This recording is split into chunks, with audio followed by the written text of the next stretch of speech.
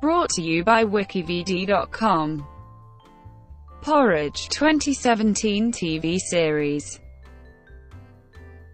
Porridge is a British sitcom written by Dick Clement and Ian La Frenais that premiered on BBC One on 6 October 2017 after the success of the pilot that aired in 2016 as part of the BBC's landmark sitcom season.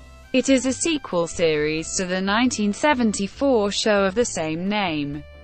The show features Kevin Bishop as Nigel Norman Fletcher, the grandson of Norman Stanley Fletcher from the original series who is in prison for cyber crimes.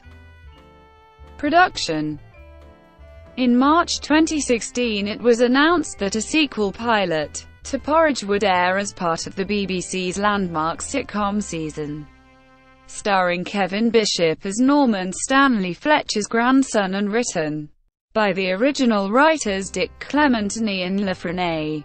After the success of the pilot, in October 2016 BBC One commissioned the show for a full series which went into production in January 2017. The show contains a number of affectionate references to the original series. For instance, the character of Joe Lotterby is named for Sydney Warren Lotterby OBE, a British television producer and director who was involved with producing the original series. Brought to you by wikividi.com. Would you like to know more?